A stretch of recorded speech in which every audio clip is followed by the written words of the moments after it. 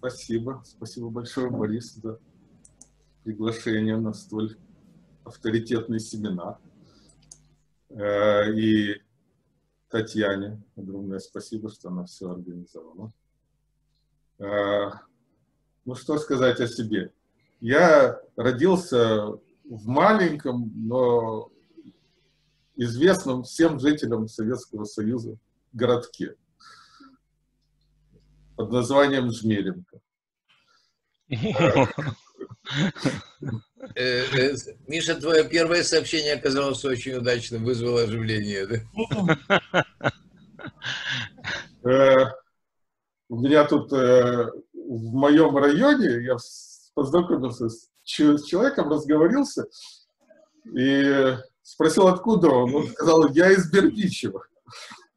Ну, я ему ответил, здорово, я из Меринки. Он мне сказал, издеваешься, да? Вот. Э, в Жмеринке прошло мое детство, где-то лет в 9 я переехал в более крупный город, Винница, менее известный. Но тоже, я думаю, многие о нем знают. Вот. И в школьные годы вдруг э, обнаружилось, что вот так физика мне хорошо идет. И где-то в восьмом классе я уже стал на олимпиадах выступать, там школьная, районная, областная. Вдруг на республиканскую попал и дошел, значит, э, вот э, увлекся физикой и дошел даже на всесоюзной олимпиаде э, до призовых мест, там и в восьмом, и в девятом, и в десятом классе. И физику очень полюбил. А в те, в те годы, конечно же, там поступить в физтех, э, мы все знаем, были серьезные ограничения. Хотя пытался, как все, но поступил в МИИТ, железнодорожный институт. Э, наверное, многие знают поговорку, если ты АИД, поступай в МИИТ. Это был еврейский институт. Задним числом я осознал, это, видимо, была Э, стратегия партии и правительства. Направлять евреев вот в такие институты, где можно было бы их потом разослать по широкой стране, в надежде, что, может, они там растворятся постепенно. А, вот, и... А, ну, в МИМИТе это автоматика, телемеханика и связь такая специальность, сейчас это называется инженер-электрик, инженер-электроник. А, ну, там поработал в научно-исследовательском институте, занимался передачей данных, там жил в Киеве. А в, когда приехал, сделал Алию в 90-м году, пошел в Технион и сделал докторат уже по методам оптимизации. Э, это называется специальность исследования операций. И с тех пор я стараюсь соединять э, методы оптимизации, то есть науку о том, как находить минимум функций многих переменных, с э, тем, что учат инженеры электрики, с обработкой сигналов, изображений и так далее. И нейронные сети очень хорошо ложатся на все это. Э, такой перцептон Розенблат был придуман еще в 60-е годы, как первая идея нейронных сетей. И с тех пор были такие волны вверх, волны вниз. А очередная волна вверх была в 90-е годы, как раз когда я учился в докторате, меня эта тематика очень вовлекла, и я с ней остался. Хотя после этого была опять очередная волна вниз в конце 90-х, в начале 2000-х, и только сейчас, вот лет 8 назад, это снова стало возвращаться – оказывается, что мощные компьютеры – это то, чего не хватало. Мощные компьютеры, параллельные так называемые графические процессоры, где параллельно много тысяч процессоров могут обрабатывать данные, они позволили нейронным сетям решать вот э, задачи, о которых Алло. раньше только мечтали. Алло, слышно? Да, все хорошо. Миша, да. может быть, пришло время спросить. Да. Э, может быть, пришло время задать вопрос. Э, все-таки, э, что это за зверь такой, нейронная сеть? Ну вот, хорошо, вы, как говорится, перешли к, те, э, к теме. Кроме того, что вы видели в, объ, в объявлении, что они много чего умеют, они могут отличать яблоки от груш и кошек от, от собак, а также рукописные буквы различать и, и даже понимать э, то, что человек говорит, понимать э, звуки. Э, и многое другое, улучшать картинки, улучшать э, видео, медицинские изображения, то, что связано с томографией, а также анализировать, предсказывать, допустим, временные ряды, предсказывать финансовое будущее или погоду. Ну, к погоде я более отношусь э, э, с интересом предсказывать финансовое будущее. Можно пытаться, но реально мы знаем, что это не, не совсем решаемая задача. Вот. А теперь, переходя к нейронным э, сетям. Они получили свое вдохновление от э, упрощенного представления, что делает нейрон э, в мозгу. Значит, что, что он делает? Он получает сигналы от других нейронов, их могут быть десятки сотни даже, я не знаю, может даже и больше, складывает эти сигналы, и когда суммарный сигнал превышает какой-то порог, я вот его буквочкой B, то нейрон зажигается и посылает сигнал на выход. Оказывается, система... Посылает сигнал куда, если можно? На выход. На, на, передает дальше. А дальше могут другие нейроны к нему быть подключены. Да. Таким образом мозг работает. Вот из таких простых элементов можно сделать очень умные штуки, которые делают, по крайней мере, то, что я перечислил. Э, вот. Э, ну, ну вот э, такая совершенно простая схемка. Мне еще можно добавить, что каждый ход нейрона может умножаться на так называемый вес. Каждый синапс может иметь свою чувствительность, и устанавливая эти веса, мы как раз управляем сетью мы заставляем ее делать то, что мы хотим, чтобы она делала. Вот, вот это, это наше средство И Вы говорили, что я тебе буду иногда мешать. Э, прости, да, пожалуйста. Да. Я, Значит, наоборот, вы мне очень помогаете. Потому что вы... каждый, каждый из этих э, веточек – это нейрон или то, где это суммируется? А, не, не, не, нейрон – это то, что голубеньким э, окружено. Ну, вот эти веса это так, зыбко. Можно сказать, что они вне нейрона находятся, эти веточки. Не нейрон это то, что голубенький объеден. Значит, это то, где суммируется, еще такое пороговое устройство. Оно молчит, молчит, молчит, пока сигнал не станет достаточно большим. А как только он стал большим, оно включается и уже дает другим нейронам сигнал. Вот. И из этих нейронов, как у нас в голове, можно делать целые сети. Вот сейчас я попробую совершенно простейшим образом. Опять же, у меня вот, допустим, три входа пришло снаружи, но теперь у меня не один такой нейрон, а несколько. Допустим, у меня есть три нейрона. Вот голубеньким маленький кружочек, а просто был большой кружочек. Вот такие три маленьких кружочка я нарисую. И теперь то, что пришло снаружи, оно уже пойдет на все нейроны. Вот то, что по первой веточке пришло, оно на все нейроны пойдет. То, что по второй веточке на все нейроны пойдет. И то, что по третьей веточке пришло, тоже пойдет на все нейроны. И это так называемый первый слой. Это можно делать многослойную сеть. Теперь я, например, делаю еще один слой. К примеру, я делаю три, но там может быть и больше, и меньше.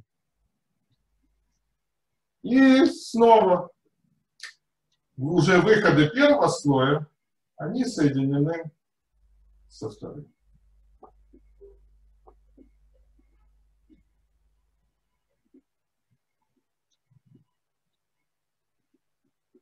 Ну, допустим, на моей картинке я ограничусь двумя сло, сло, слоями, и я скажу, что вот теперь общий выход нейронной сети я могу, к примеру, соединить выходы этих трех нейронов, и это будет общий выход нейронной сети. Вот это пришло на, на входе, а это будет общий выход. И я могу эту нейронную сеть заставить сделать очень разные вещи, в зависимости от того, какие веса и какие, ну, это называется смещение, bias по-английски, какие веса и какие смещения я назначу вот всем этим веточкам. Миша, смещение ты имеешь в виду пороговое значение, когда начинает, когда включается? Да, да, да. Э, оно, оно определяется, вот смотрите, вот этот пороговый элемент, он может даже включаться, когда его вход больше нуля. Но поскольку я отнимаю вот это b от суммы, да, то получается оно управляет порогом. Можно сказать в конце концов, что b это порог каждого единицы.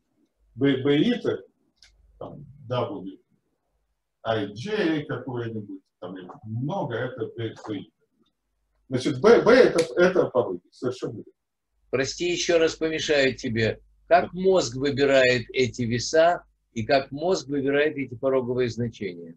Ну, э, вот тут надо больше биологам. Я думаю, что на вот этих, на аксонах, которые связывают один нейрон с другим, что-то там внутри происходит, и они помнят, что они должны, или, или на них самих, или на на точке входа в нейрон, тут даже интересно, а вдруг среди аудитории есть биолог? Нет, случайно. Э, я, я, кстати, очень люблю, когда не доклад, а беседа. Если нет, да, то... да, я, я объявил, что на, наша встреча сегодня скорее беседа, и можно задавать вопросы в процессе, да. можно уточнять. И вот я пытался вам подать неудачный пример. Вот. Э, значит, э, в биологии, скажем, как-то они назначаются. Еще раз, это очень упрощенная модель нейрона. Биологический нейрон, он сложнее, я вам сразу говорю.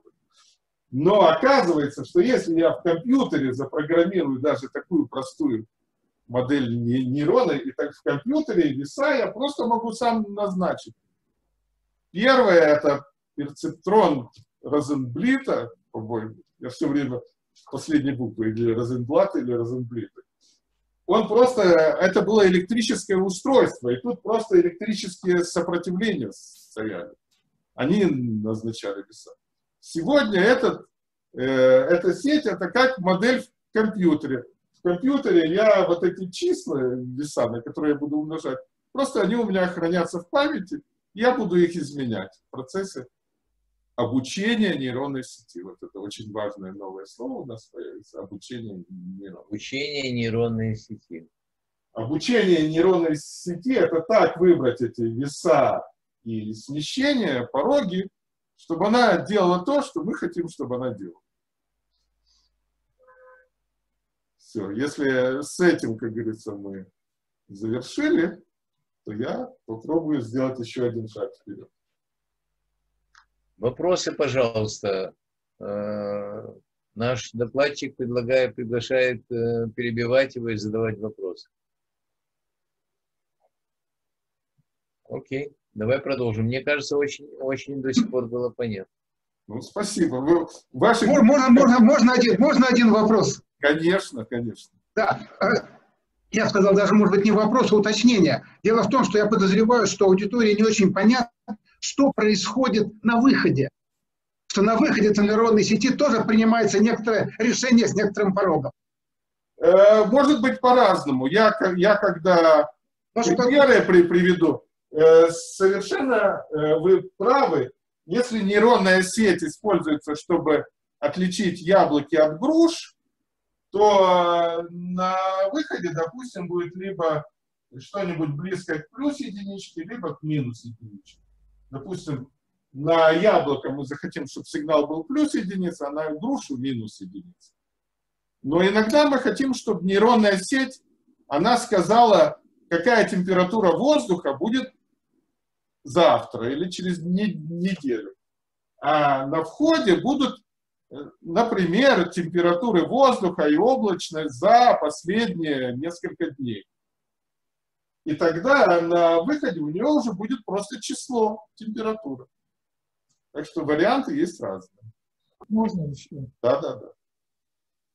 Да, Можно? да, слушаю вас. Пожалуйста, пожалуйста, Геннадий. Да. Э, Все-таки извините меня за... Громче, Геннадий, пожалуйста, чуть громче. Извините за дилетантский вопрос. Все-таки нейронная сеть – это что-то материальное или виртуальное? Вот как это? А, э, это, это может быть в двух видах. Исторически это началось в 60-е годы как просто электрическая, электрическая схема. Вот, вот эти все элементы, допустим, умножение на коэффициенты, это так называемое сопротивление электрическое, да, или усилители. Есть э, элемент электрический, который складывает сигналы. Есть электрические элементы, которые порог осуществляют. Это можно осуществить как электрическую схему. Сегодня очень часто, ча чаще, чем реже, это просто как программа в, в компьютере. Вот я получил три числа на входе моей программы, я их умножил на эти коэффициенты, я просуммировал, я проверил, больше или меньше они, чем порог, и продолжил свои вычисления. И вычислил то число, которое на выходе. Спасибо. Пожалуйста. Все, значит, э, теперь замечательное наблюдение. Единственное, что э, боюсь, что мне придется вытереть вот эту верхнюю часть, чтобы продолжить дальше. Вот, мы ее вытрем. А в записи она у нас останется.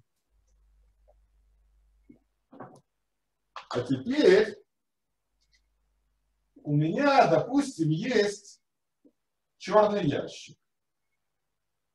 У меня есть черный ящик, и на вход этого черного ящика поступает три величины, так же, как и на вход моей нейронной сети. И на выходе этого черного ящика тоже поступает, э, с выхода выходит какая-то величина. Оказывается, сейчас я попробую увеличить, что я сам видел свою доску.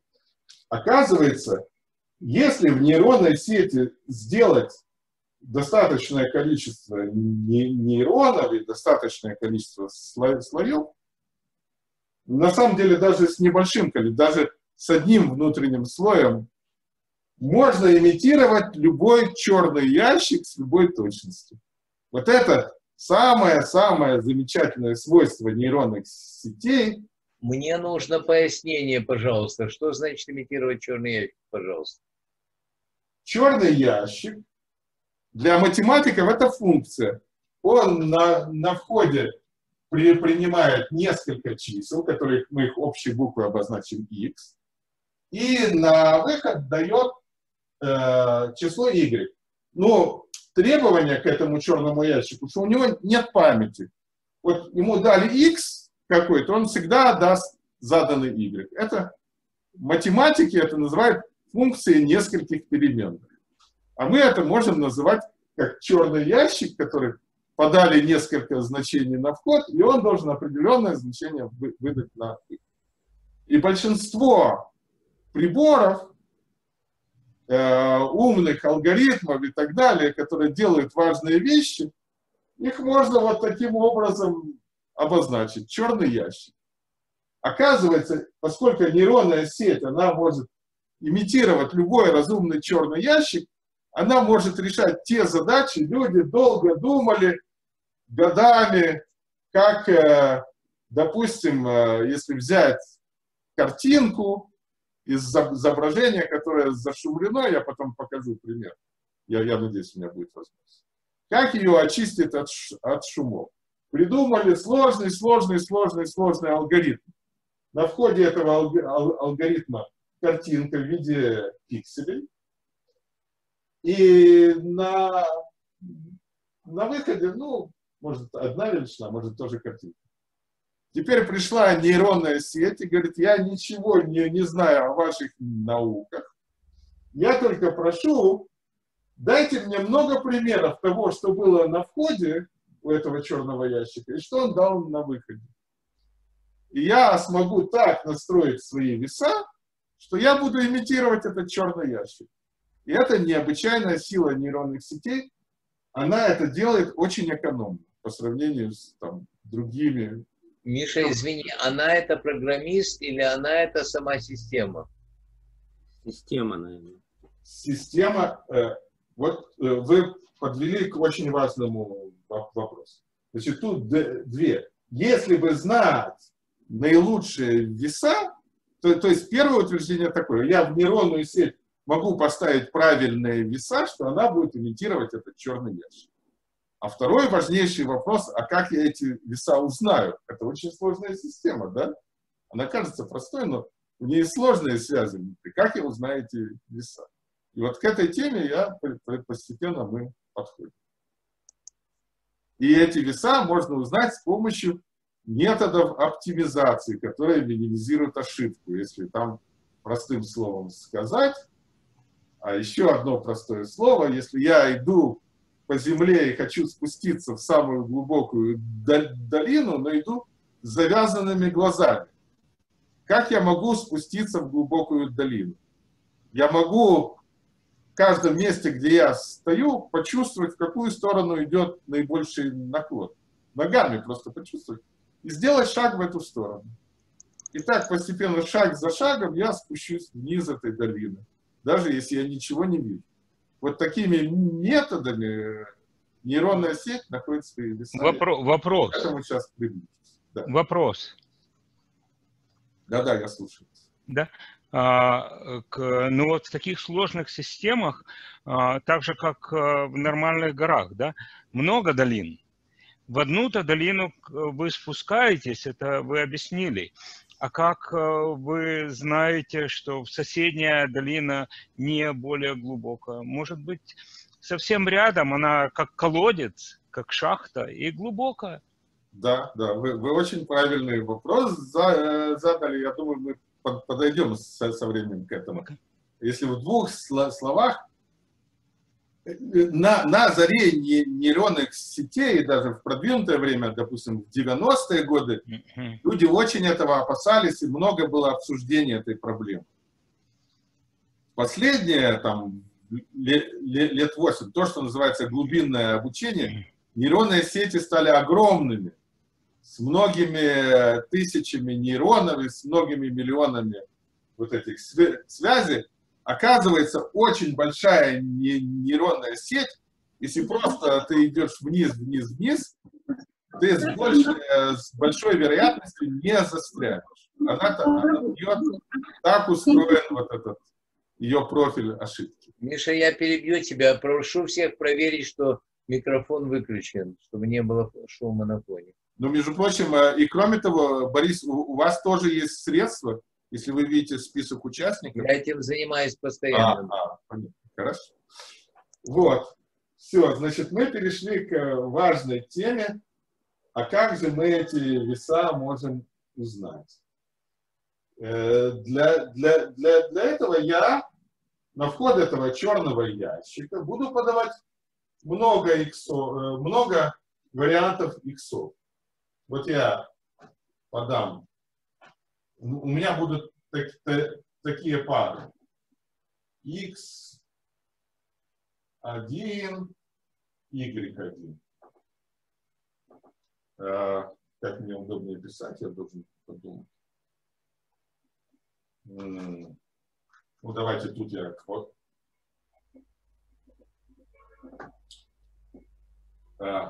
x1, y1 x2,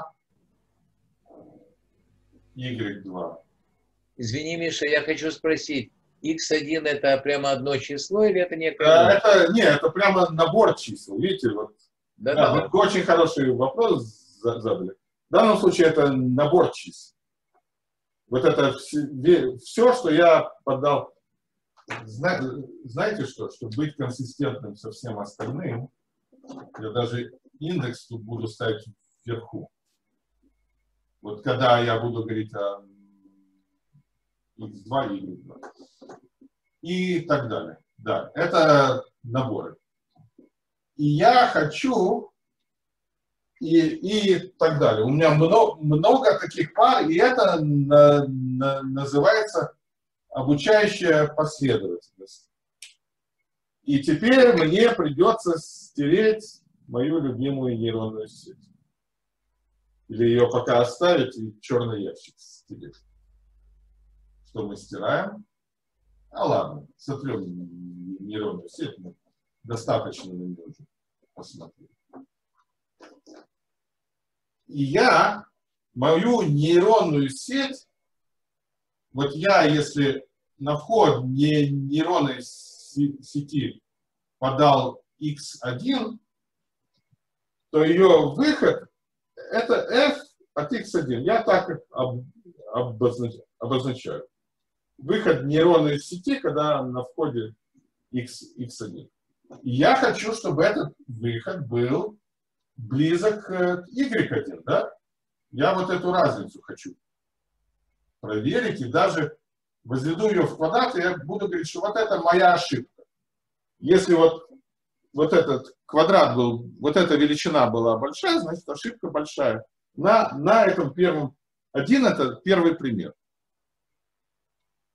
Э, потом я сделаю то же самое со вторым примером. f от x2 минус y2. Опс. И все это в квадрате. И так далее. Значит, я сложу все ошибки, которые нейронная сеть сделала на всех примерах. Миша, извини, пожалуйста. А для чего тебе обучаться сейчас? Ты не сказал. Ты обучаешься чему? Чтобы X от Y отличить? Я, я обучаюсь тому, чтобы... Я хочу, чтобы нейронная сеть делала то, что делает мой черный ящик. Ага. Так, я на вход вы... черного ящика подал X1. Может, я плохо выразился. Спасибо за вопрос. Я на вход черного ящика подал X1, и он мне выдаст Y1. Запомнил записал. Да. На вход черного ящика подал X2, он выдаст Y2. Записал. Запоминаешь реакции, на этих реакциях обучаешься. Да, за это э, в терминологии обучаемых систем это называется тренировочные примеры. Вот Я у меня много примеров для, для тренировки. Можно спросить? Прошу прощения. Э, нет, нет, э, разрешите еще совсем полминуты я закончу блок, и, и мы обсудим. И я э, записываю такую суммарную ошибку. Я да, даже называю ее буквой Е, это error по, по-английски. И она равняется этому выражению. Но эта ошибка, она будет зависеть от того, какие веса я дал нейронной сети когда я ей дал разные веса, вот на этих связях, к сожалению, я ее уже вытер, между нейронами, если вы помните, были связи, вот эти W. Вот если я их установил, я получу ошибки на всех моих тренировочных примерах и суммарные ошибки. И таким образом у меня возникла суммарная ошибка, которая является функцией от моих весов. И я хочу ее минимизировать. Я хочу узнать, при каком W, при каком наборе весов сумма этих всех погрешностей на обучающих примерах будет как можно ниже. Вот теперь я закончил блок, он сложный, можно его обсудить.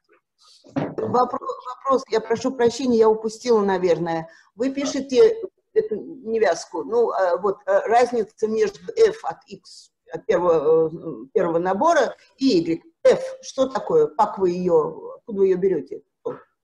F, F, это функция, да? Вот F, вы ее как? F это моя нейронная сеть. Вот давайте я еще вспомогательную картинку нарисую все-таки таким схема, схематическим образом. Вот это моя нейронная сеть, которая там была крупная, а здесь я ее мелко нарисую, да? Вот со всеми этими связями. А, то есть вы пытаетесь подать нейронную сеть под этот Одно ящик. Да, да, да. Это вот не делаете... Спасибо вам за вопрос. И все ага. это я обозначаю буквой F. Ага. Вы запускаете в нейронную сеть значение, такое же, как входило на черный ящик. Да, вот ответ, X, да, да, Y, да, совершенно верно. А ответ на нейтронной сети вы получаете. Потом вы начинаете играться с этими входами и весами, с тем, чтобы приблизить выход на сети к выходу на черном ящике. Да, совершенно верно. Еще один вопрос, возвращаясь на шаг или на два назад. Да. А, когда вы рисовали слои, вот, да, на, на пиктограмме они сейчас. Да. да. А, в принципе, вы можете сказать, что каждый нейрон соединен со всеми, но вы выбрали слои. А, они, они соединили все их подряд как угодно. Насколько это принципиально и к чему это вообще ведет? Это очень хороший вопрос. Эм,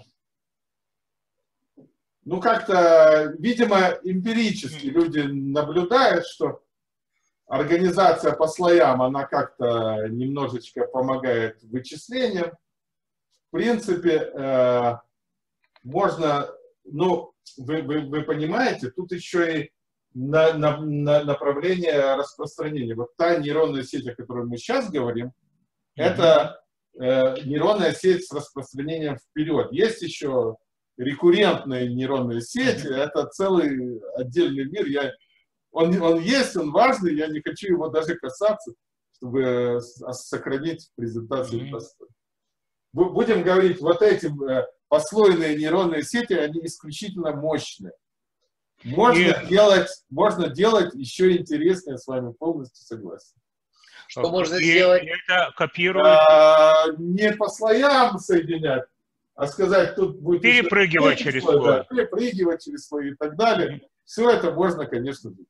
А, а какая реальная связь с мозгом? В мозгу они по слоям или как, как оно там? Э, в мозгу э, сложно. Немножко когда-то разбирался. Э, мозг, связь с мозгом довольно опосредованная хотя есть определенные связи по, по слоям. Вот говорят, от э, сетчатки, э, от сетчатки глаза к зрительному мозгу вроде бы есть такая послойная структура, которая там на каком-то этапе определяет линии там э, разного направления, намеки на послойные структуры есть, но то, что это описывает полностью мозг, я боюсь это но при, предлагаю сократить наше, э, тех, э, как говорится, сконцентрироваться на вот этом техническом обсуждении, а потом вернуться к общему, потому что техническое достаточно нагружено. Э, если можно. Да, да, конечно, пожалуйста. Э, э, значит, мы пришли к, к тому, что у нас есть множество тренировочных примеров, и есть функция ошибки, которая зависит от весов нейронных сетей, и мы хотим ее минимизировать. И тут э, я прихожу к следующей области моих знаний. Это методом минимизации функций. Это очень важная область, и можно рассказать буквально на пальце. Я надеюсь, что в пяти минут я смогу это сделать. Тогда мне надо будет вытереть то, что уже есть.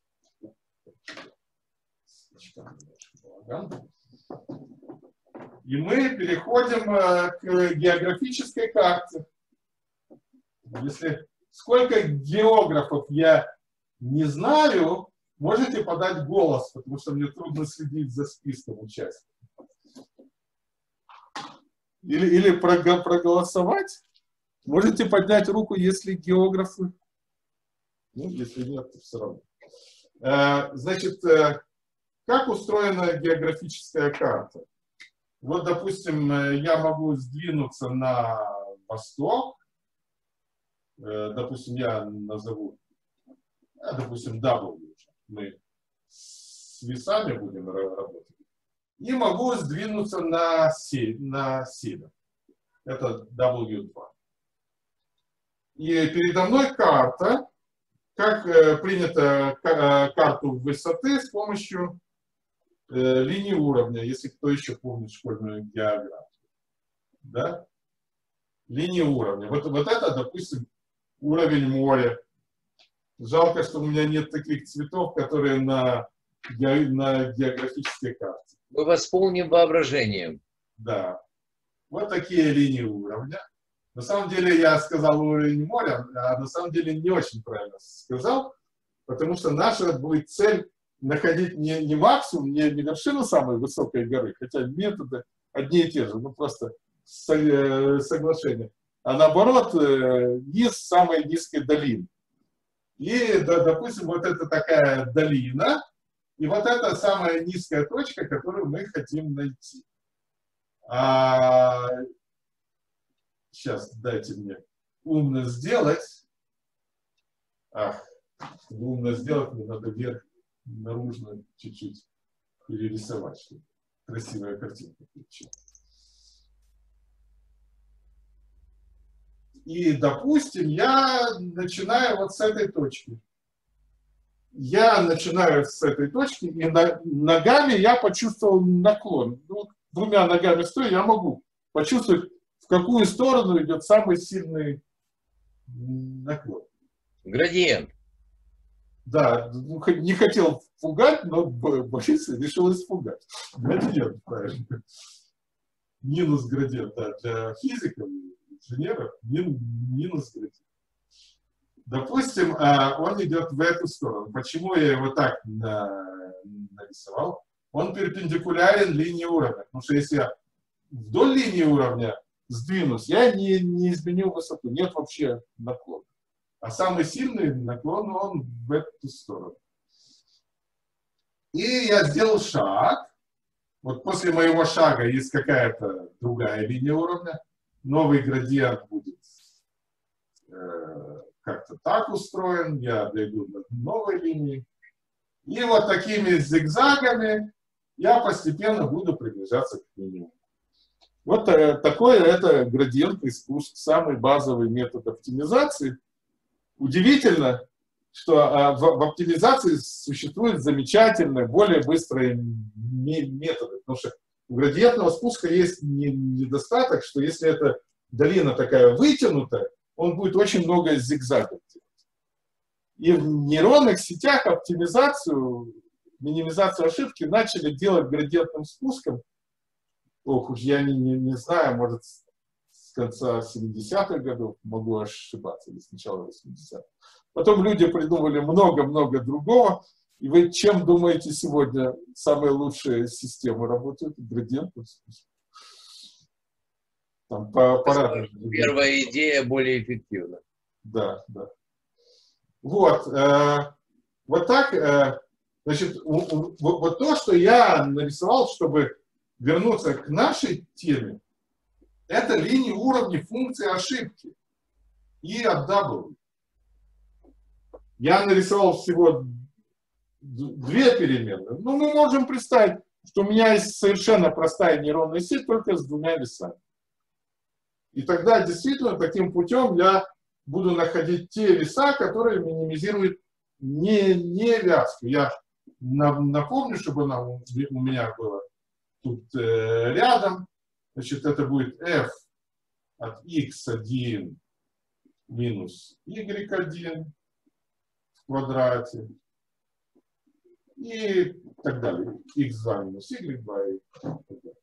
Вот эту невязку мы минимизируем, и таким образом мы, мы делаем, чтобы нейронная сеть вот в этих тренировочных точках давала нам близко к тому, что черный ящик давал.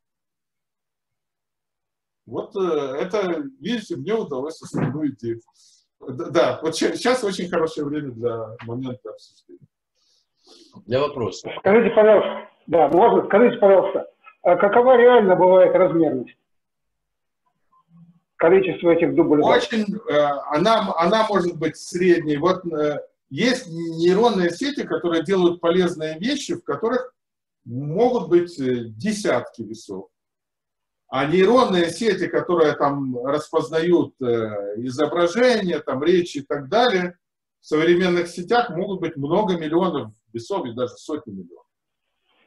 И, и там работает на, тоже на миллиардах тренировочных примеров. И да. там работают градиентные методы в таком, наверное, не в таком примитивном варианте, какие-то более, более хитрые. Э, там чуть-чуть есть усложнения, я бы этого, на этом это, значит, вот, вот э, э, усложнение такое самое базовое, оно вот такое. Вот, вот эта функция ошибки, она состоит из многих членов, которые очень похоже выглядят, да? И есть так называемый стохастический градиент, который говорят, говорит, я, не, я не, не пойду по градиенту вот этой общей суммы, а возьму только один член. И у него посчитаю градиент, это быстрее намного, да, я не должен сложить миллион примеров, а достаточно один пример. И по нему сделаю шаг. И это сегодня самый эффектив, э, один из самых эффективных методов. Там есть еще тонкости, я бы вернулся к ним, я приглашаю вас на более расширенную лекцию, где это все. Вы правильно говорите, что в конце концов с помощью метода оптимизации я буду синтезировать. То есть я найду веса вот этой нейронной сети. А дальше вы можете спросить, а может ли более экономная нейронная сеть решить подобную задачу? И на это очень много усилий сегодня тратится. Потому что нейронные сети, которые производятся, они огромные, и они работают на так называемых э, графических процессорах. Это такая э, карточка электронная, которая отдельно включается, втыкается в, больш... ну, в такой, даже может в персональный компьютер, но в ней там свой вентилятор есть, и она может, там, я не знаю, несколько сот ватт потреблять, а для больших нейронных сетей оказывается, что их надо тренировать на многих тысячах таких карточек, которые в облаке, возле какой-нибудь электростанции, я не знаю, где-нибудь возле горной большой реки находятся. Это большая проблема. Большие усилия тратятся на то, чтобы нейронную сеть посмотреть, а можно ли маленькую нейронную ну, там, проредить веса, многие веса сделать равными нулю, или сделать вместо непрерывных весов двоичные, там 0,1, что тоже быстрее. Эта область очень важная, я согласен с вами. Спасибо. Можно продолжить, правда?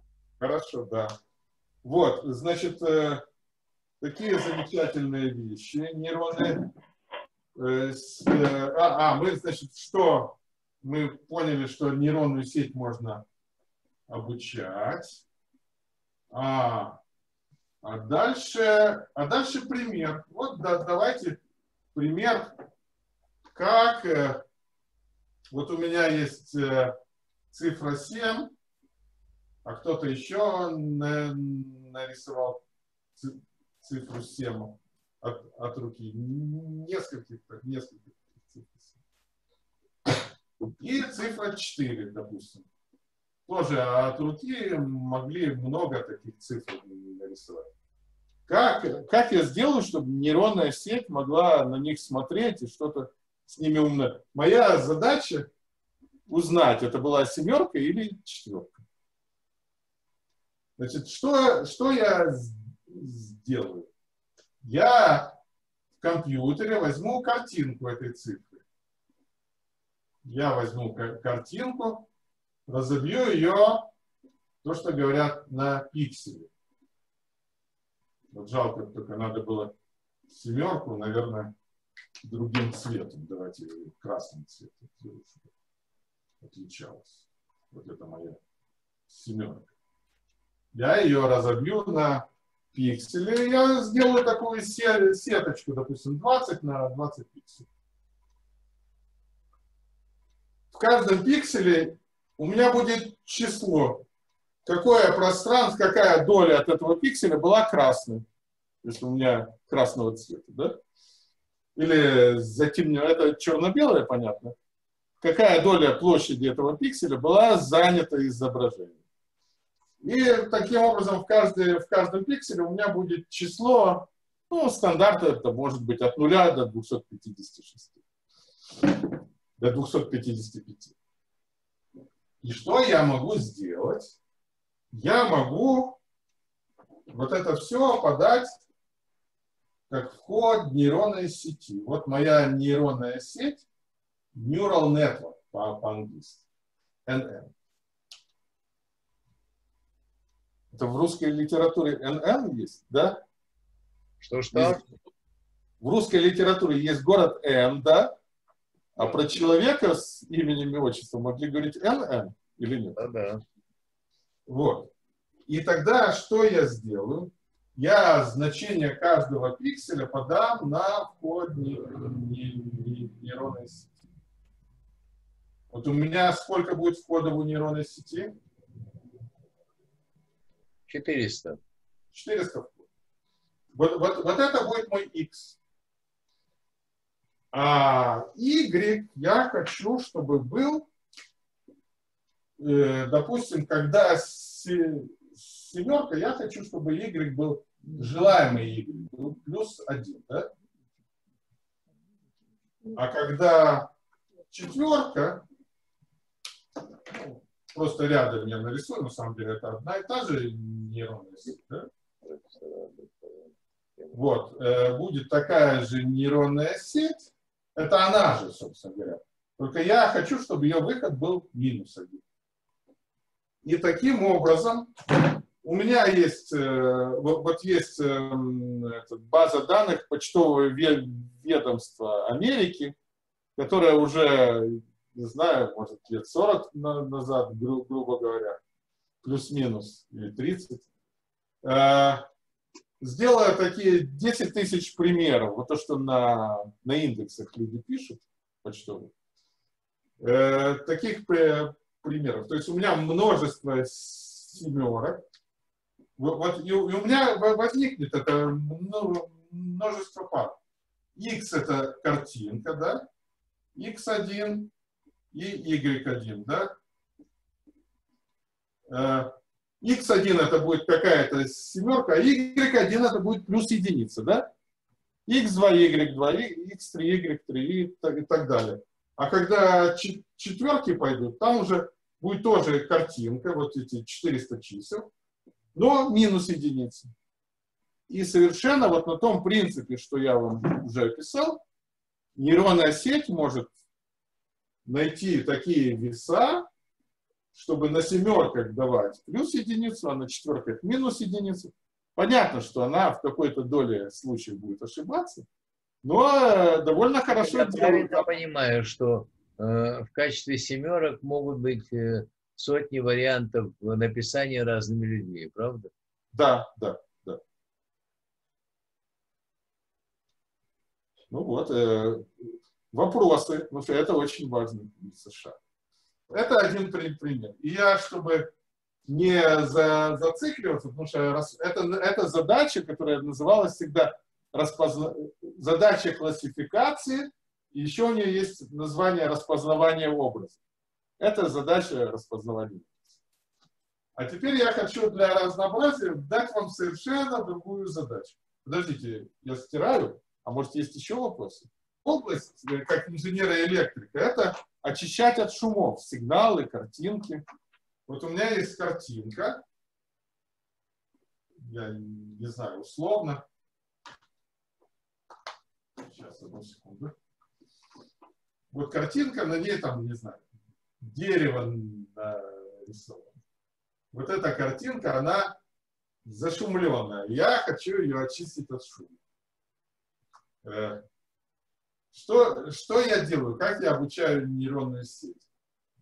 Я беру чистую картинку дерева. Ну а как шум мне из, из, изобразить? Ну, шум. Я, я беру чистую картинку дерева искусственно сам добавляю шум. Тогда мне легко обучать нейронную сеть, потому что я знаю, я буду ей давать зашумленную картинку, это ее вход, и какой-то пиксель чистой картинки, которую я знаю, это желаемый вид. Что я, что я могу делать? Э, ну, допустим, э, выделить из э, картинки большой такой э, под, под, ну, какой фрагмент, он на английском называется page тоже, например, не, небольшой, 20 на 20 пикселей.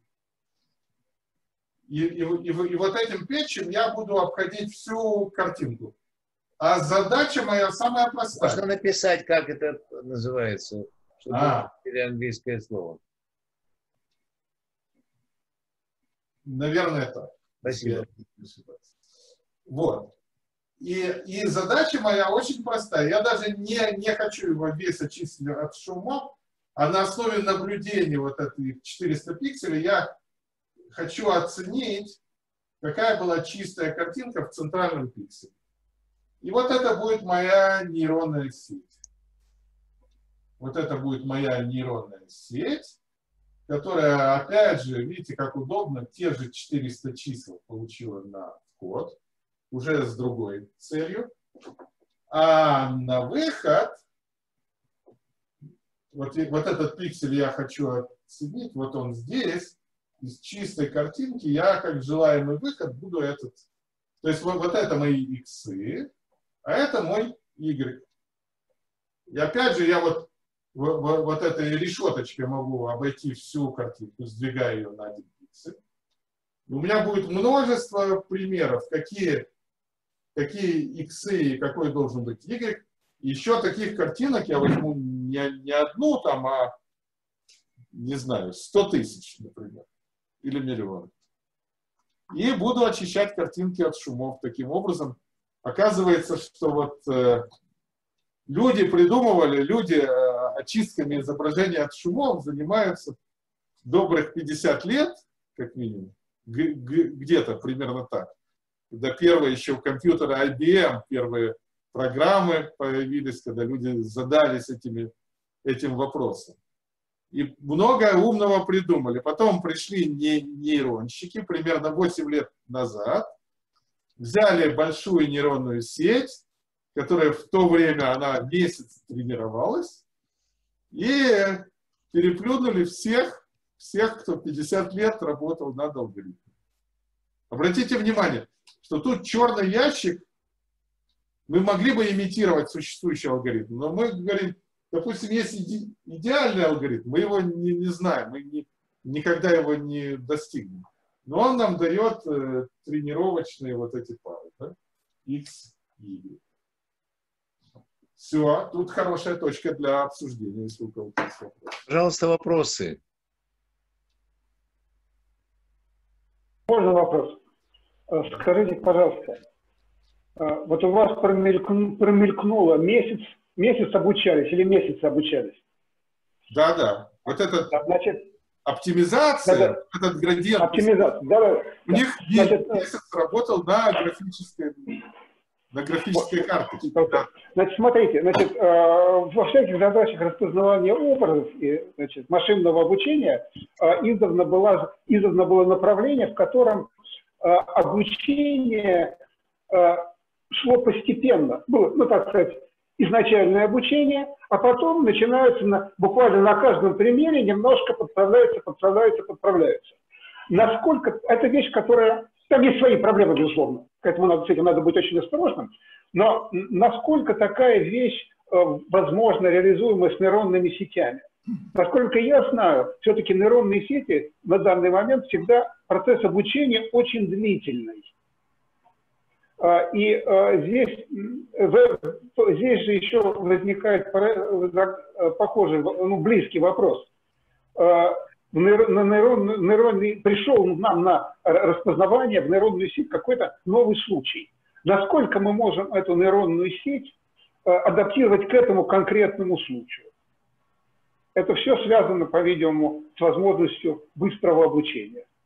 Или пока обучение всегда долгое. Э, оно пока долгое, и люди осознают, что проблема очень серьезная, э, что проблема очень серьезная. Сейчас я должен или просить, да. Э, Михаил, Михаил Майк. Я, да. да. Э, проблема очень серьезная. В, э, люди осознают, что, что это важно. Сейчас всего больше усилий на это на, на, направлено. Э, ситуация, она действительно очень тяжелая. Но, но вы знаете, она такая тяжелая и в биологии тоже. Известно, что человеческий мозг, по-моему, потребляет, как мне кажется, порядка 20% энергии организма. Если не больше. Больше, больше. Сколько? Какие оценки? 30-40. Да. Если, если, конечно, думает. В пиковом режиме, да? Ну и, да. Может, Всегда говорили, что думать вредно. Но, но я, я знаю, когда сильно думаешь, жарко становится. Да? Это признак того, что много энергии. Можно в термоизолированную комнату, э, эту самую оболочку поместить человека можно и узнать, сколько сильно он думает. Да-да, пожалуйста, ну, по очереди. А, Вопрос так, можно, да? Прошу сейчас, прощения. Только я хочу. Нет. Одну секунду. Миша, ты ответил уже или... Нет, нет, я за, за, закончить фразу. Похоже, что человечество подошло к тому, что вот обучение этих нейронных сетей, вот это думание, вполне может занять 20 и более процентов нашей электроэнергии. И мы к этому близки. И похоже, что даже будут возникать умные алгоритмы, как это делать более экономно, но и аппетиты будут расти. И в конце концов, может, будет побеждать та цивилизация или подцивилизация, которая, да, сможет выделить вот такую долю энергии существенную на обучение нейронных сетей. Так, вопрос да, можно? Да, да. А что за криптовалюта остается?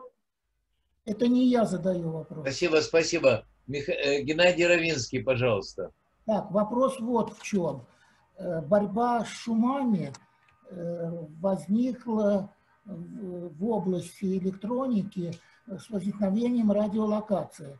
И очень много трудов, это 30, примерно 30-е годы прошлого столетия, да. вот, очень много трудов было потрачено на, на изучение и борьбы, начиная от белого шума, кончая доплеровскими шумами. Означает ли, что вот эти нейронные сети фактически отошлют все эти вопросы в прошлое? Достаточно. А, вы знаете, есть большой оптимизм. Э, я вам приведу пример. Э, из, из, из приложений, то, чем я занимаюсь, это вот медицинская томография, МРИ и ультразвуком. Вот мне довелось, вот даже была компания Elsint, а потом они стали General Electric, э, и у них есть отделение по ультразвуку в Хайфе. Мне даже удалось год с ними поработать. И э, вот должен похвастаться, что это несколько лет назад уже, я не помню точно, может года три назад, мы, мы, мы взяли вот это э, сырые данные для ультразвука, ну, правда, просимулировали в компьютере, это не настоящий физический эксперимент был, тем, тем не менее. Мы, мы знаем, что картинка медицинского ультразвука, она такая, рябая. Нам удалось с помощью нейронной сети получить изображение, которое очень напоминает рентгеновскую компьютерную томографию. Очень чистые и ясные картинки. Так что прогресс там может быть огромный. И в большом кризисе находятся люди, которые обучались, как вы, вы справедливо сказали, человек всю жизнь потратил на, на эту карьеру, сейчас они серьезно думают, а где же им найти свое место – ну, пытаются где-то соединять классические методы, как элементы нейронных сетей. Такое движение тоже есть. Скажите, пожалуйста, очень интересно, про, очень интересно про ультразвук. Но ультразвуковая картинка же необычайно динамична, в отличие от МРИ. Она динамичнее даже, чем МРИ сердца. Да, вы, да. Справились, вы справились с этой динамикой или вы э, фиксировали изображение? А, пока мы сделали статическую картинку, но принципиально там не, не, не, нету проблем, просто нужна несколько больше нейронной сети. А она, она, естественно, может и видео тоже восстанавливать. Э, э, а, можно вот жалко, что презентации у меня, я не знаю, э, ну это Борис решит, нужно или не нужно презентацию с красивыми картинками там, показывать, какие-то примеры. Миш, а, нет, если можно, а то я забуду. Очень длинный был вопрос. Не, я сразу скажу, это несколько более длинный вопрос, чем для нормального течения общения. Значит, э, э, первое, чтобы очищать от шумов, конечно, я дам... Тут два варианта есть. Если я заранее знаю, что мне только деревья надо очищать от шумов, я обучу только на деревьях, она будет чуть-чуть лучше работать. В принципе, я дам с интернета э, миллион разных картинок, и она их все будет э, очищать. Если много разнообразных примеров, то это, это так называемое свойство нейронной сети обобщения. Это очень важное свойство. Делать те примеры, которые она еще не видела. Если вы достаточное количество тренировочных примеров дали, нейронная сеть э, будет обобщать важный элемент, что тренировочных примеров было много. Сейчас, секундочку. Теперь, то, что касается медицинских изображений. Есть две э, дополняющие области. Первое – это сделать, чтобы картинка, которая будет перед глазами врача, была высокого качества. Чтобы она была не рябая, чтобы на ней было четко видны все детали. Для этого, опять же, можно синтезировать, если есть хороший симулятор ультразвука. Допустим, мы говорим, вот, вот такое было биологическое тело, известное нам. Мы синтезируем весь этот процесс и хотим, чтобы нейронная сеть вот эту красивую, чистую картинку воспроизвела. Это одна область. И вторая очень важная область, сейчас она центральная становится, это медицинская диагностика.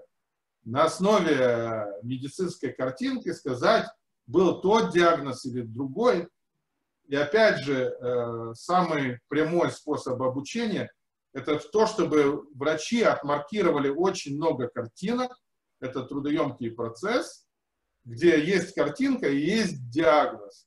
И нейронная сеть этому обучается, ну, относительно успешно. Это дальше немножко от области, которой я лично занимаюсь. Я больше занимаюсь вот этим самым нижним уровнем, делать качественное изображение. У меня, у меня будет еще, еще, еще один шаг, если захотите, я не знаю. Спасибо большое. Э, ну, тут можно сказать, что чтобы очистить сегодня, чтобы очистить картинки от шумов с хорошим качеством, люди пришли к тому, что требуются нейронные сети с миллионами вот этих весов, ну, многими тысячами нейронов, и э, днями там, и, и более об, обучения. Если вы это уменьшите, это можно уменьшить, тогда качество очистки шумов чуть-чуть будет ниже. Может, оно вас тоже устроит. Или другое, люди обучают вот эти нейронные сети, кто-то один обучил их, а потом множество людей пользуются вот этой уже готовой нейронной сетью. Более того, есть целое сообщество, которое еще будет работать над тем, как ее сделать более экономной и более быстрой. Вот. Сейчас, если э, это, это, это все-таки общая дискуссия, я, я еще одну, одну маленькую добавочку хочу сделать. Очень, очень важно. Я могу устроить нейронную сеть, которая будет на входе получать картинку.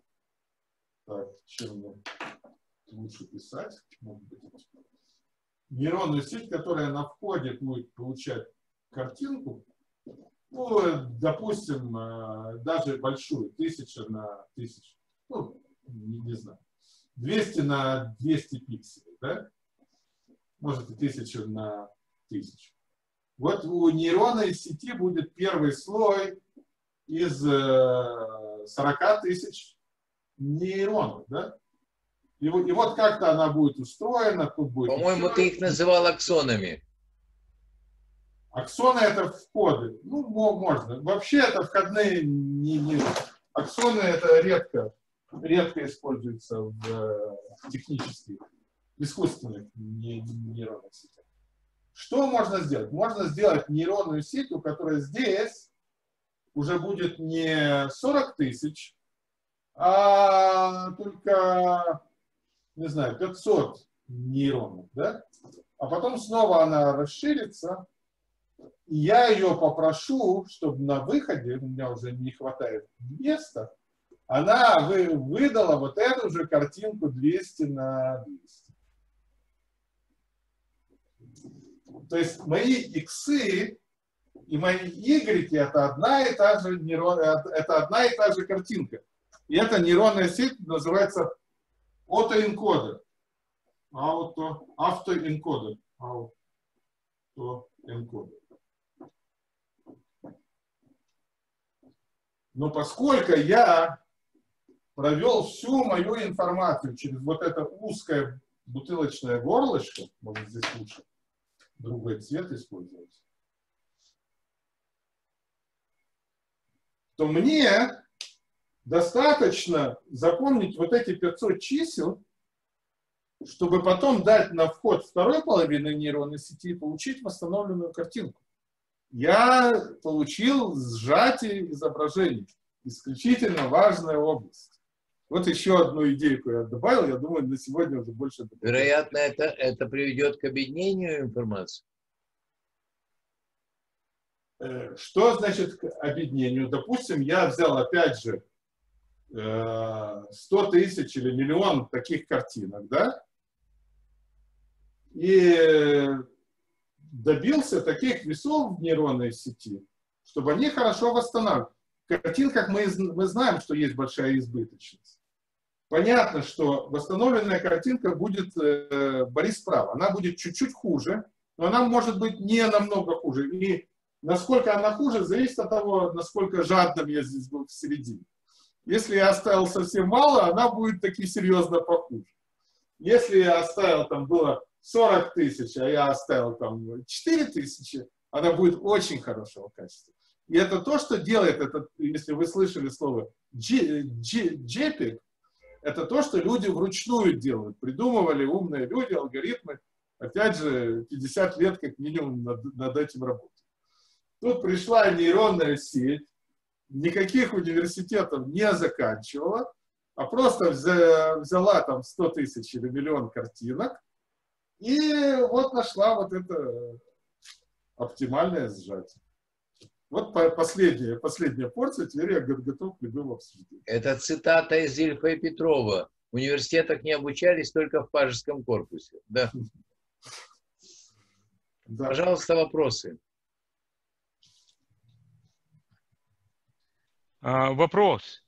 Да. А, правильно ли я понимаю, что в принципе, отвлекаясь от энергии и там времени, всему, что можно обучиться, а, нейронная сеть, видимо, может обучиться. Но когда дело касается эвристики, там, изобретения чего-то, это тут она, вот это ее граница. Вот где, где ее граница, другими словами?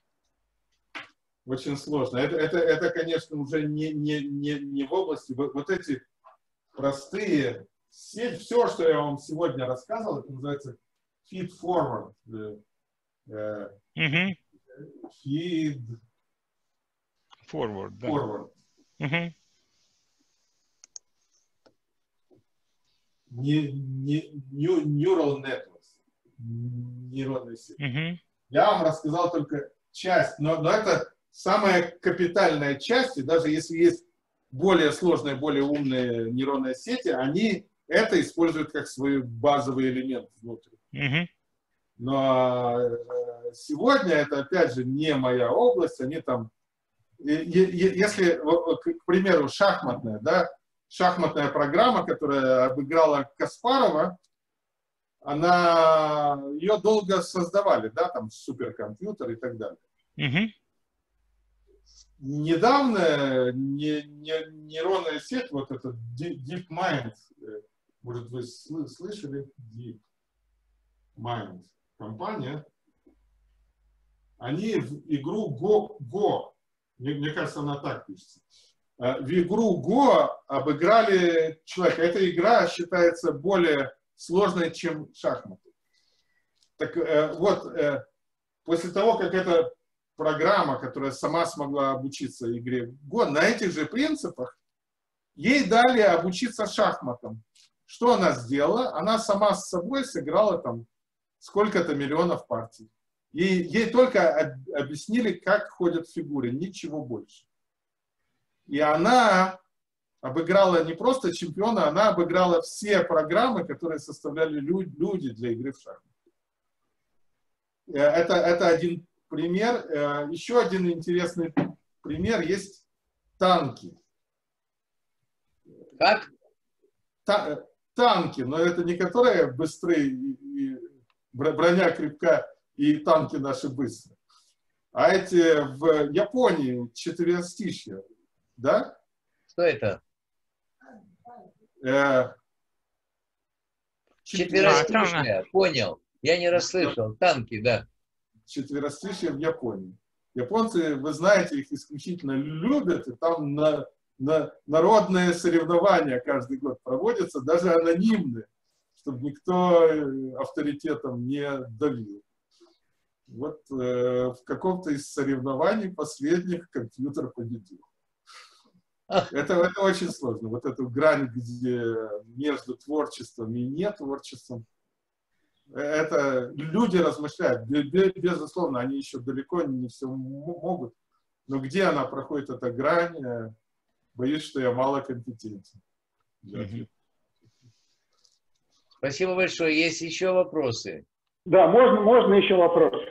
Да, да. Скажите, пожалуйста, он, э, вот э, вы, вы начали объяснение нейронных сетей с черных ящиков. Да. О том, что нейронные сети, да, имитируют черный ящик.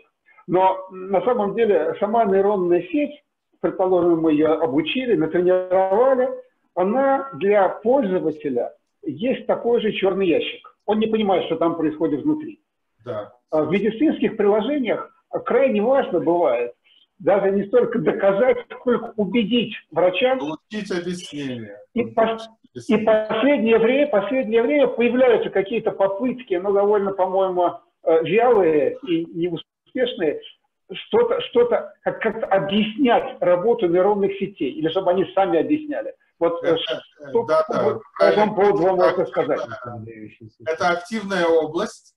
Это да. активная область много усилий направлено на это по той причине, что вы сказали. Э, к сожалению, я не эксперт. Так хорошо отвечать честно, вот кто-то меня. Да. Спасибо. Пожалуйста. Э, вот. Ну, я в следующий раз приглашу докладчика, который сможет ответить на все вопросы. Прошу прощения.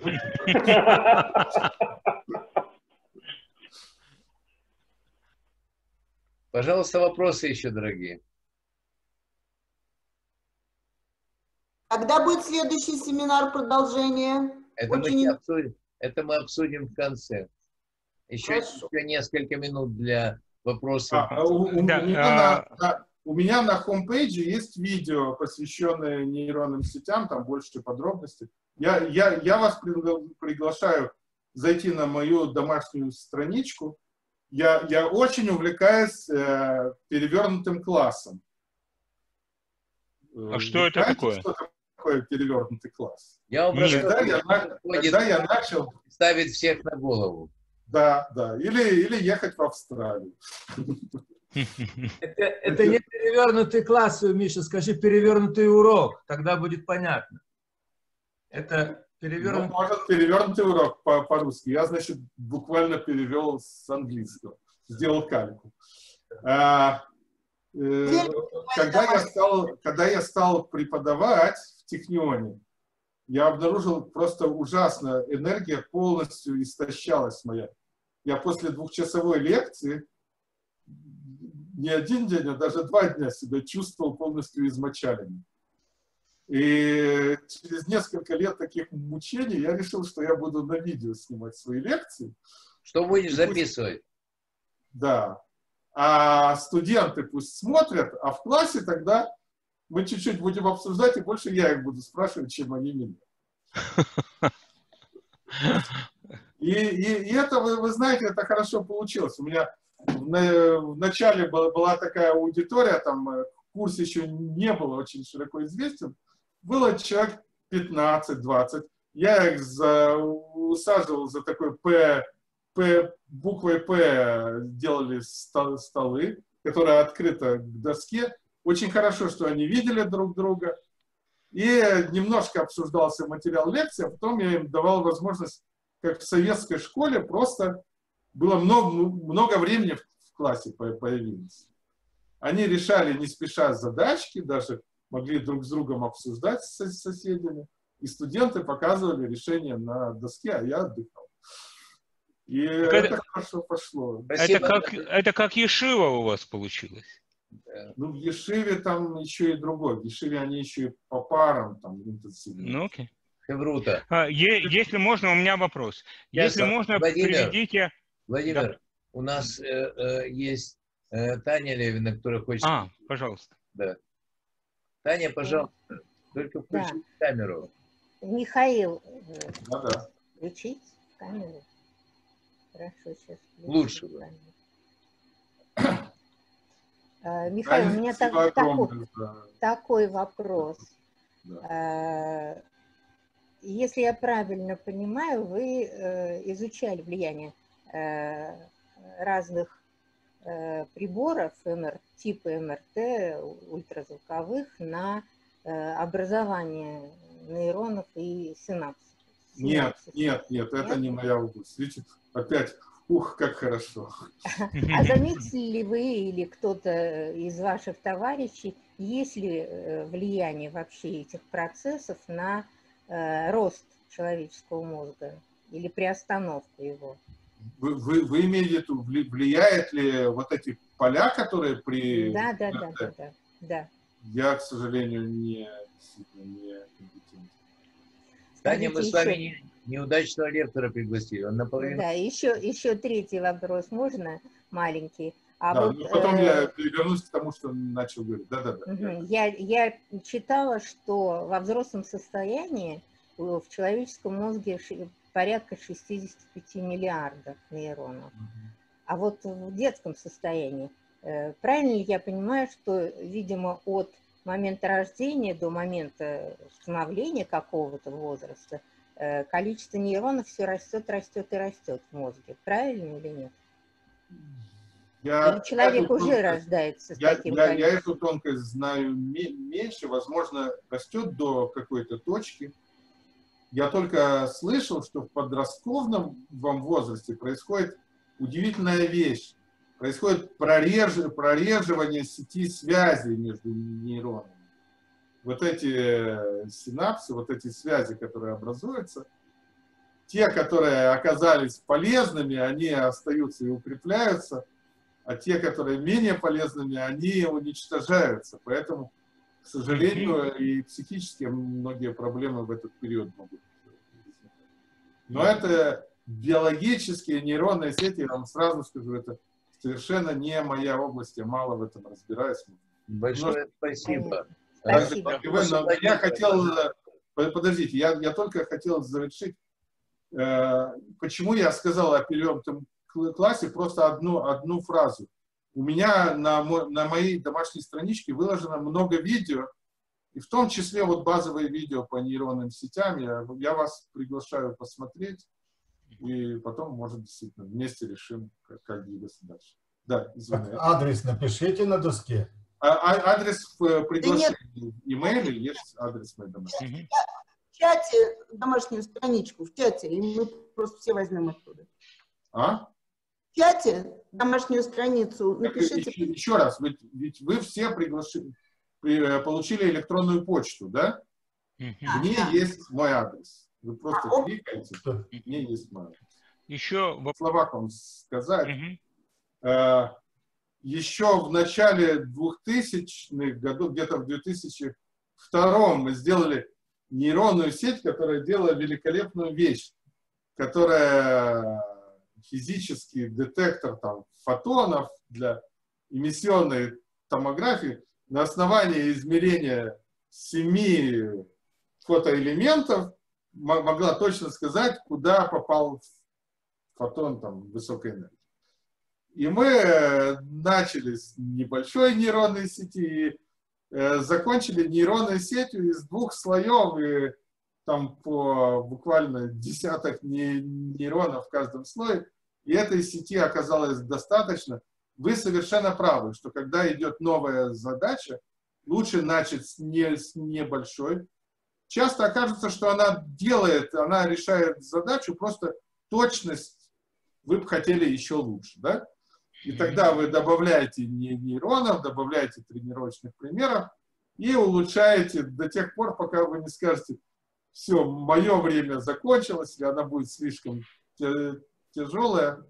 Только на уровне размахивания руками и еще говорения – что вот современные нейронные сети, они действительно для, для такого качественного, допустим, сжатия картинок и так далее, они имеют миллионы весов.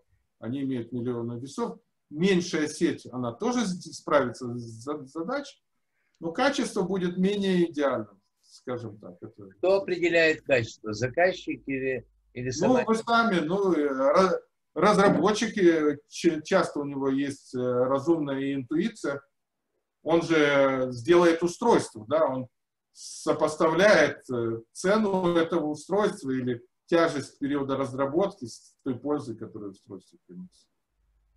И э, еще один вопрос. Мощными. Вот, вот сейчас, сейчас только, только одну секундочку. Бортовой компьютер вот в этих э, новых автомобилях, которые автомобильное, э, автономное вождение, он потребляет 200 ватт чтобы вы, вы поняли мощность вот этих новых компьютеров. Ой, 5 э, терафлоп, 5-10 терафлоп, это, это делает э, плата, у которой там, э, ну, которая, короче говоря, те, те, терафлоп на ватт, примерно сейчас вот такая производительность. Что такое терафлоп? Значит, э, э, кило – это тысяча операций в секунду, имеется в виду арифметических операций. Да, да, да. Мега – это миллион, гига – это миллиард, тера – это… Тысяча миллиардов. Да. Как по-русски? Следующий. Триллион, да? Триллион. Триллион. Триллион триллион операций в секунду может сделать устройство мощностью 1 ватт. Огромный прогресс в этой технологии сегодня. Э, И э, часто плата, э, то есть то, что в автономном а, автомобиле оно имеет мощность там, 100 ватт, а то, что в компьютере может иметь там, не, несколько сот ватт, если вам нужно что-то мощное, а то, что в облаках много киловатт, но все пропорционально. Да-да. Может ли э, э, глупая нейронная сеть научить другую, которая станет умнее ее? Ну, это, это открытая, открытая тема, так называемое объединение экспертов. На самом деле мы, мы сделали даже в томографии э, такую работу уже около 10 лет назад, чуть больше 10 лет назад – когда есть несколько простых алгоритмов, которые умеют очищать от шумов. Это могут быть простые нейронные сети или какие-то просто людьми придуманные алгоритмы. Нейронная сеть действительно способна взять их выходы в качестве своих входов и э, то, то есть стать таким э, суперэкспертом. Да, то есть, это правда прекрасно. говоря, да, правда? Да, да, это прекрасное направление, очень важно. Если вопросов больше нет, наше время приближается к концу. Я просил бы отзывы, выступления, какие-то сообщения и, наконец, предложения по, по повторению для более профессионального сообщества. Ну, например, у меня есть такая идея, у нас не запланирована встреча, и мы не будем ее объявлять. Через пятницу э, это э, Ошана Раба, я не знаю, можем ли мы не нарушая традицию, собраться в 10 утра в Зуме. Это мне недостаточно известно, я плохо понимаю эту Подождите, это, не, это через неделю вы имеете в виду? Через неделю. Например. Э, ну, у меня, наверное, будет, к сожалению, сложновато. Нет, через две недели. Нет, Через через неделю. Нет, нет, как раз через неделю. А через две недели у нас по окончанию субботы у нас выступает э, известная э, э, ведущая и политический комментатор, э, политический аналитик. Э, сегодня она политический аналитик газеты «Мариев», госпожа Анна Раева. Называется наша встреча э, «Политические прогнозы в самой непредсказуемой в мире стране». Не будем говорить, какой. Да? Так что э, предложения принимаются. Можно написать на наш mail идеи, когда такую встречу в Zoom можно сделать, я охотно помогу. Да, теперь прошу высказаться и свои соображения. У нас еще минут 5, 10, 15 имеется. А, э, Всего два слова. Большое спасибо, прекрасно. А, Даже для, э, для разных уровней. А, Оно стало понятно как э, общая ситуация, общая схема, что происходит. И докладчик и Михаил просто здорово, на мой взгляд, объяснил. Так что огромное спасибо. Присоединяюсь. Понятно и очень интересно. Очень интересно. Спасибо большое. Спасибо, Владимир. Э, Спасибо большое. Спасибо, Спасибо, Тамара. Можно Э, добавить?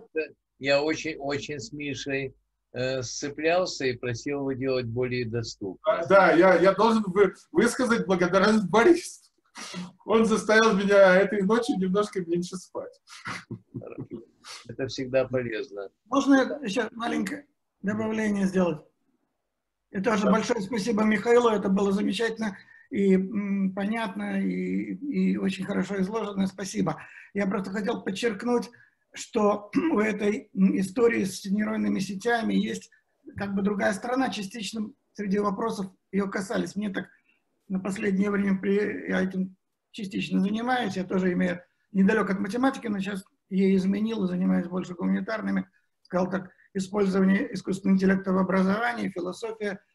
Ой, очень, очень хочу эту тему с вами обсудить отдельно. Да, я просто хотел сказать, что в этом плане очень, э, очень важные вопросы, которые обязательно должны быть обсуждены здесь, мне кажется, судя по всему. В частности, вот упомянутое Михаилом замечательное событие, когда игра Го оказалась тем полем, на котором э, нейронным сетям удалось проявить себя так, что 1000 э, 2017 год, в общем-то, считается э, переломным э, в истории, так сказать, искусственного интеллекта на основе нейронных сетей. Воспринимается, после этого стали люди верить в то, что машина умеет, ну, там, мыслить, не мыслить, но что-то она умеет больше, чем мы.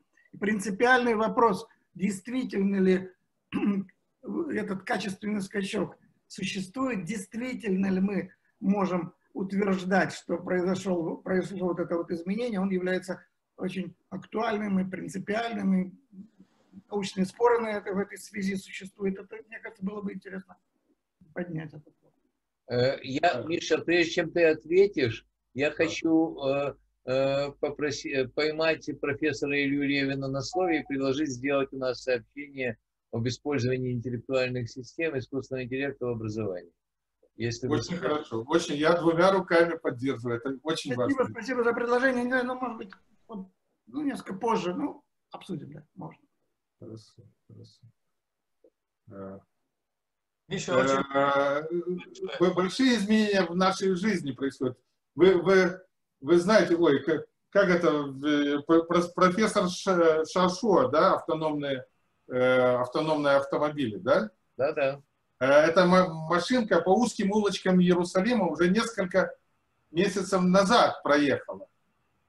То есть технически уже, можно сказать, за- задача почти решена. Огромные изменения в нашей жизни. Мобиль Ай, правда? Да, э, Mobileye, э, да, да, да. Там две компании, это она или нет, может быть. Э, Вот. И э, всеобщая роботизация, э, вообще роботы, революция в роботах происходит на наших глазах. То, что вот эти все технологические процессы в цехах, они станут почти без, безлюдными, там и повар на кухне, там в Макдональдсе и, и, и, и так далее.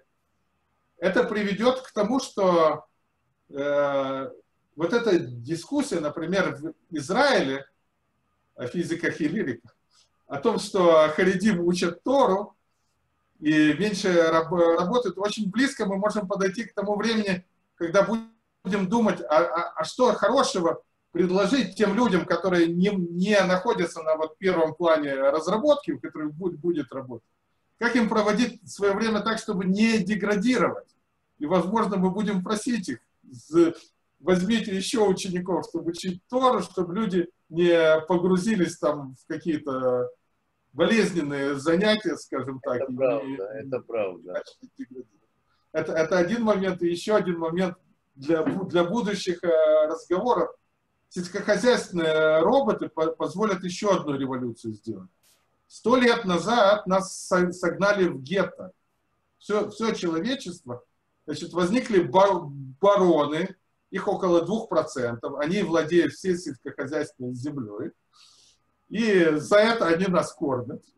А всех остальных согнали в города, потому что большой трактор, он там прекрасно большое поле возделывает. Робот сможет опять возделать вокруг моего дома, если у меня будет вилла. И, кстати, в Израиле сейчас полдунама, это 5 соток э, земли сельскохозяйственной на душу населения. Если вокруг дома моего будут эти сотки, и робот будет свежий помидорчик, э, такой, который почти трескается, мне приносить, они, они бронированные толстокожие из магазина и все остальное. Это радикальным образом изменит нашу жизнь. Неустойчивость к вирусам мы сможем распределиться и жить ближе к Земле.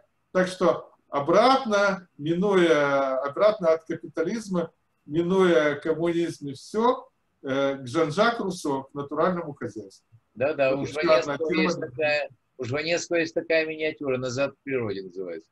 Э, да. Пожалуйста, еще вопросы наше время подходит к концу. Э, я хочу воспользоваться заминкой и сказать Мише огромное спасибо, огромное спасибо и за то, что он отчасти принял мои пожелания, и за то, что он не принял их. Это оказалось необычайно интересно, и как я вижу по количеству слушателей и по количеству вопросов, далеко не только для меня. Моя большая просьба ко всем, кто оставил свои э, пожелания в чате, Э, это просьба от меня и от ученого секретаря нашего семинара доктора Тани Левиной. Э, э, все, кто оставил свои пожелания в чате, пожалуйста, укажите там и свои электронные адреса, чтобы мы могли вам посылать нашу рассылку. Кроме того, те, которые не оставили свои пожелания, тоже могут там оставить свои электронные адреса и получите совершенно бесплатно нашу рассылку и приглашение на следующий семинар. Вопросы? Э, у нас 3-4 минуты, пожалуйста. Я скажу, Миша, большое спасибо с юмором и искренне, здорово. Я хотел сказать, что, может быть, еще про самообучение можно было бы потом добавить, потому что вопрос такой уже был. Все-таки, когда встречаешь не, не, незнакомый элемент, почти что все было здорово разъяснено. Но мне кажется, что самообучение, само собой, вот это кумулятивное обучение может быть чуть-чуть усилено. И второе про то, как с ребенком там происходит. Главное, это трудная задача. Если у нас есть трудные задачки для человека, то у него тогда ускоряется обучение, потому что миелин, как изоляция для нейронов появляется. Тогда обучение идет быстрее. Может быть, и здесь у вас такая же система, что все э, можно ускорять как раз, а не замедлять, если мы правильно добавим трудности трудности задачи, потому что в, мозг, в нашем мозге это так происходит. Обучаться нужно на трудностях. Трудные задачки, трудные движения дают возможность усилить и убыстрить обучение. Большое спасибо, Миш. Арон, э, прекрасный, особенно второй вопрос, он просто ближе э, ко мне. Есть целая область обучения с учителем, и правильный подбор э, обучающих примеров очень сегодня активная область. они должны быть средней трудности, не слишком трудные, не слишком... Да, да, это, это в, в одном слове, но это активная область. А касательно самообучения, в область очень важная, может быть, Борису или кому-то еще удастся найти людей, которые эксперты. Я не, не эксперт в этой области, но область очень важная, я согласен. Спасибо. Всем большое спасибо. Я всегда горжусь э, нашей публикой. Сегодня просто это вся королевская рать. Спасибо вам большое. И Миша очень благодарен. Э, и всем слушателям большая-большая благодарность. Жду ваших приглашений, предложений о создании такого семинара несколько более профессионального, несколько более научного. Я с удовольствием представлю свой Zoom и свои возможности для этого. Всего самого доброго. До свидания. Шаббат шалом. Пока. Спасибо огромное. Праздником, праздником. Хак Сукот Самех. Как Самех, как Самех.